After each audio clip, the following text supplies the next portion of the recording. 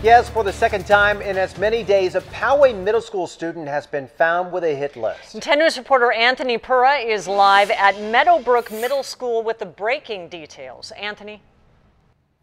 Well, a lot of Meadowbrook parents were worried about sending their kids to school today after news of that first hit list surfaced yesterday. Now that there's a second one, that's likely only going to add to that fear. I want to show you this now. This is the email that the school sent to parents today notifying them of that second so-called hit list found today. They say it was done by a different student, a seventh grader, and at this point, we understand that there were six names on his so-called hit list. We also understand that deputies talked to that student as well as his parents. They don't think that there's any credible threat to the students that were mentioned on that list, but as a precaution, they talked to all the students that uh, whose names he wrote down as well as their parents. And come Monday, we also understand that the school will have counselors as well as added security here on campus. For now, we're reporting live on in Poway, Anthony Pura, 10 News.